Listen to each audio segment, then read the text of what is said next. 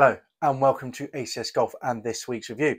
Well, I'm looking at this, the Cobra LTD. Now, the reason I'm looking at this driver is if you remember, Bryson DeChambeau, when he joined Cobra and signed for Cobra a good few couple of years ago now, in 2019, regarding the driver that he had in the bag, rather than putting in the brand new Rad Speed, which they were currently using, he decided to put in this one from 2015 citing that obviously low spinning, whatever, suited his swing more. And it made me think, well, hold on. If he put one of these in the bag, mm, what? Why aren't we looking at putting it in the bag? You know, if he personally thought it was good enough a couple of years ago to play on tour still, then maybe we should be looking at this on the second-hand market because it could save us a lot of money and we could ultimately have a very good driver. I mean, I will say, obviously, this is just the normal LTD. This is not the pro version that he used, but it's still with that same idea with the fact that hold on if these guys are still using this equipment and tour why are we every year changing to a new club? Why are we getting a brand new driver coming out when you know we could be saving ourselves money and, and picking up some older stuff or just keeping the same driver in the bag that we've had for years the faithful thing that still works for us? So there you go. There's the reason for picking it up. Now as always Let's have a closer look at this club. I will say I did pick this up £55, so under $70 um, if you're watching from over U- in the US. And it is a little bit battered, but that's what you get sometimes with the second-hand market. We'll go fully into the price when we get an ACS Golf Scale and what you can pick it up for sort of in better condition. So as always, you know, we'll have a closer look at the club. Then I'll talk through all the technology that was in it. Then we'll get down to the range. I'll throw some figures at you, and then we'll go through the ACS Golf Scale and I'll have a chat to say if I think it is possibly worth picking up this 2015 driver. I mean, eight years old. It's quite interesting, to be fair. So make sure you're watching to the end to find out my sort of overall theory about it. Now, do remember, guys, if you're new to the channel, remember to hit that subscribe button and hit the bell icon so you do not miss reviews that come out every week on Sunday and a few extra videos as well that I've coming up for you guys in the coming week. So remember to hit that subscribe button to really push for those subscriptions now. Loads of views, loads of watching hours, loads of likes, loads of comments. Thank you for all who do that. Let's get those subscriptions up. mean the world to me. Okay, so there you go. Now let's have a closer look at this club.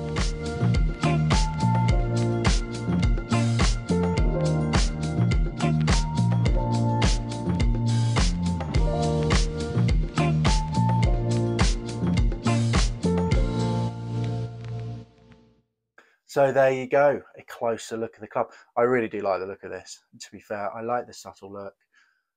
You know, I like the black and it's very basic on the top with that little orange Cobra sign there. You know, like the bottom as well, that spaceport. We'll get into that in a second. I will say the one that uh, DeChambeau was using was actually the blacked out version, which looks so all this orange here is actually black. Looks even cooler, to be fair. Not too sure about the shape itself, but it's very forgiving shape. Really does fill your confidence. I think the Pro is obviously a little bit more squash, which I actually prefer. But look wise, I just think it's a very nice club. To be fair, you know, very good.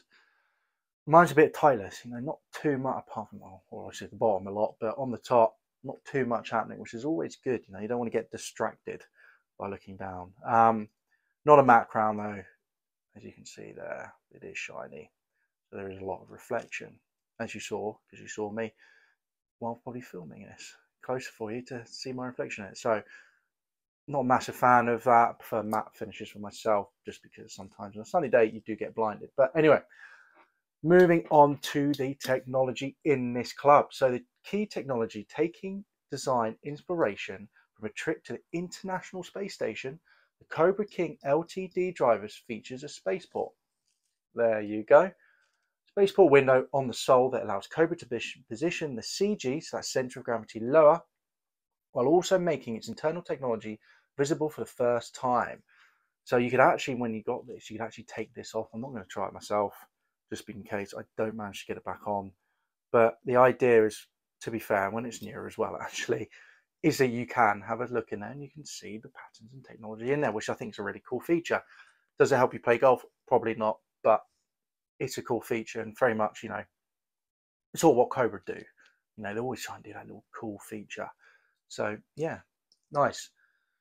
Then moving on to a new TE Extreme, so TeXtreme carbon composite crown, which is 20% lighter than standard carbon fiber, to again move the CG lower, so center gravity lower again, and to raise the MOI. So moment moment of immer- inertia, sorry, moment of inertia. There you go, tongue tie. With the ideas, obviously, more forgiveness. You know, higher MOI, the more forgiveness the club has. Now, the ultra low CG position improves efficiency of the club at impact for faster ball speed, higher launch angles, and lower spin, which obviously, lower spin, higher ball flight, you're going to be increasing the distance. The body constructed of a lightweight 811 titanium and a back weight port. There you go. And a 12 gram tungsten weight at the back. Again, weight at the back to obviously increase that MOI and obviously that launch attack. As mentioned before, you've got the crown, which is 20% lighter. You've also got the loft options as well, where on all sort of cobras, and you still do it. I'll just show you here. Obviously, you have the tip there, where you can go from 9 degrees all the way up to 12 which is great. And it also has a draw setting on it as well, which is good. So, you know, if you need to make sure, if you've got a slice, you can put in a draw setting, which is going to help you hopefully sort it out a little bit. Putting a carbon in a draw setting isn't always going to work, but you do have the option there. So that's quite good if you are a bit of a slicer of the ball. Um, faster swing speeds, they do say, would much be much better suited to the pro model like I said, I've got the LTD, just a normal one, which offers a lower loft actually. So the Pro model was from 7 to 10 degrees. Um, has also had three fade settings to help optimize launch and obviously more distance.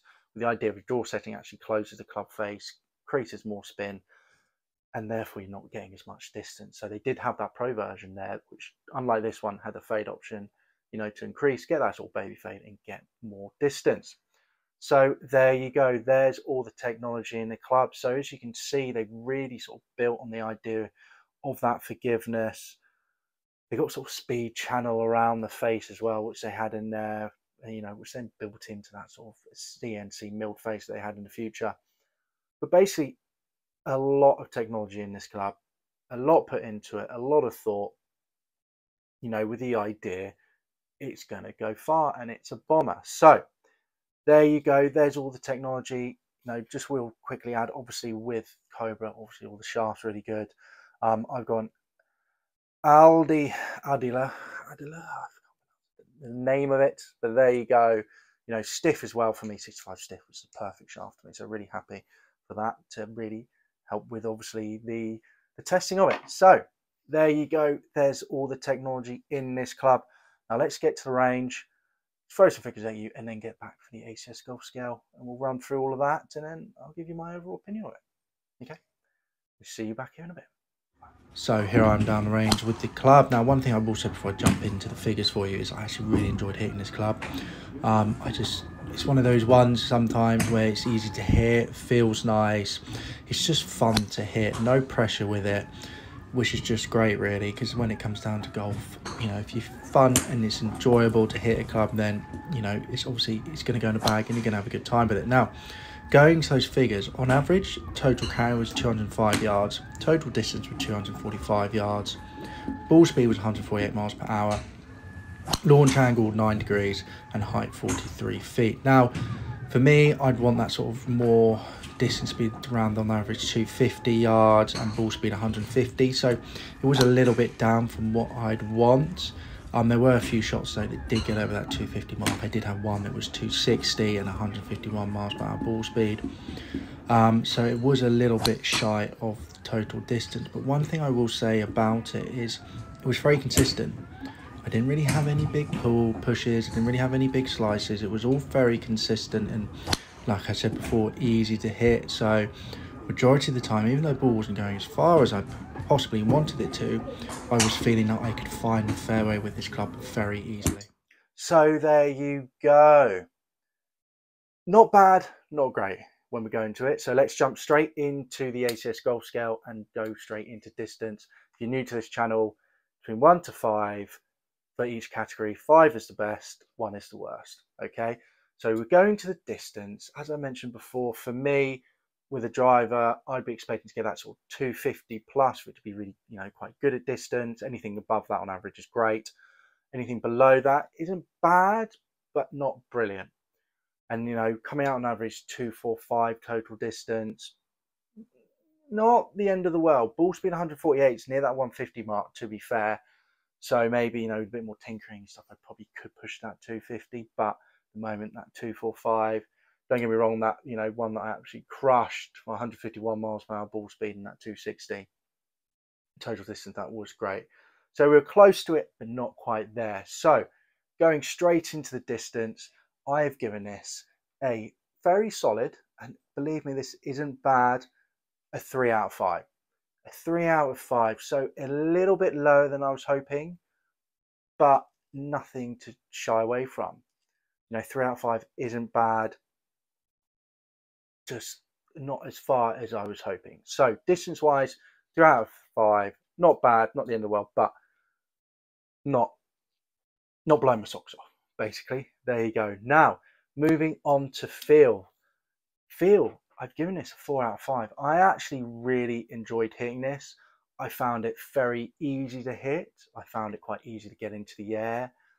Um, you know, for someone like me, my swing generally close the club face and hit down on the ball. You know, on average to get it near that sort of 10 degrees, which I did, but then still have enough spin to sort of get the height as well. I was generally quite happy. I really did find it easy to hit the ball. So I was very happy with that very happy with that. Loved the feel of it. Knew I was hitting it in the face. Just felt like a nice, solid driver, dependable driver. You know, looking down on it and then hitting it, I was just really happy. You know, I had fun. I had fun, and that's let's be honest, that's one of the main things when it comes down to golf.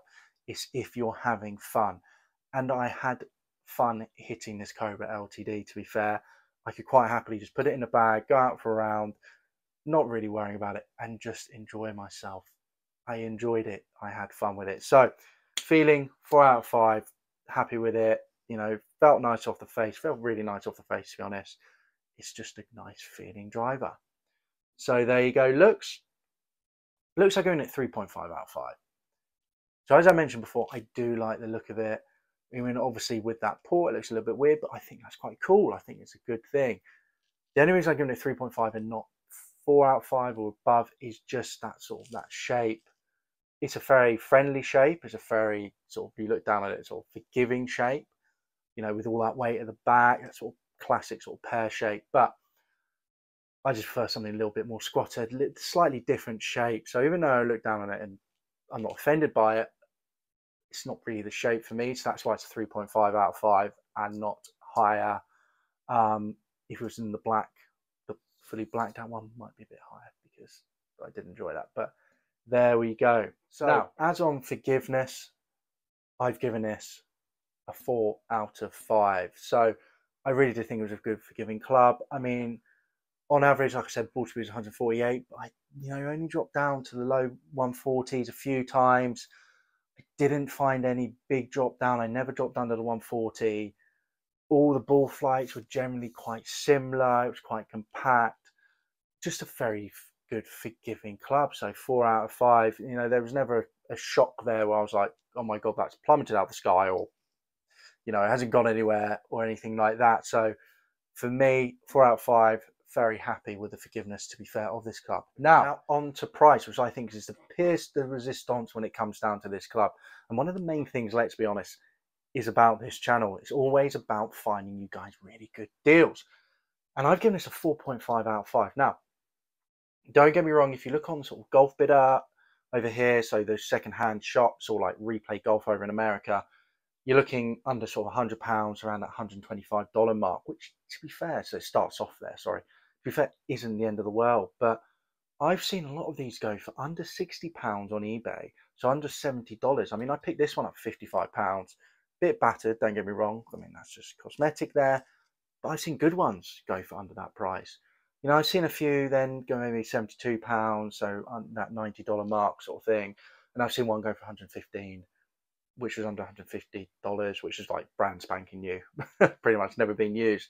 Um, if you go for the black, obviously the black is a little bit more expensive because it's a bit more sought after, but you know, a lot of these clubs are going for under eighty pounds, under around that hundred dollar mark, and that's an absolute bargain for me. So, like I said, four point five out of five, absolute bargain. It's not going to be wrong, like I mentioned, distance isn't great. It's three out of five, but it's forgiving, it's consistent, and it's just fun to hit which is one of the main things about golf. It's fun to hit. I've mentioned it before, but it just is. I just had a really fun time hitting it down the range. You know, I could take this club out every weekend and just have a really good time with it. Sure, my mates might outdrive me every now and again, but I'd just be having fun. And that's what golf is about. Let's be honest, we're going out there to have fun. So, yeah. So there you go, four out of five, 4.5 out of five for the price. Now, overall, so we've gone through all of that there. I do really think this is an absolute bargain on the second hand market. I think, like I've mentioned just then, get it under that $100 mark, get it under that £80 mark, you're to have fun hitting it. It's fun, it's cool to look at, it's a bit quirky with that spaceport. You know, and yes, it hasn't exactly gone the distance I wanted, but it's not far off. It's only five yards, and you know, someone else could pick it up and it could be an absolute flyer, best driver used. I mean, like we said, DeChambeau put it in his bag because for him it was perfect. So maybe the spin's not quite right for me, and so therefore I haven't got the most out of it. But it is a great club, even though it's eight years old. If you can pick it up for that price, you won't be disappointed, and you'll have a lot of fun with it. To be honest, so do do keep an eye out on it because oh, great such a great thing. I do love Cobra clubs, and it's nice that you can, you know, know that you can go back to 2015 and you know still pick up a really fun, easy to hit, decent distance club for a very, very good price on the second-hand market. So there you go. There's my review of the Cobra LTD driver. Now, if you like this video, do give it a like. Comment down below if you play with Cobra drivers. You know, which models do you play with? You know, what do you think of them? Have you tried the LTD? I'd love to know. And like I said before, guys, at the beginning of the video, do remember to subscribe to the channel and hit that bell icon so you get more weekly reviews like this coming straight onto your newsfeed. Okay? So there you go, guys. Have a good week. And I'll catch you next week for another ACS Golf review. Bye bye. See you then.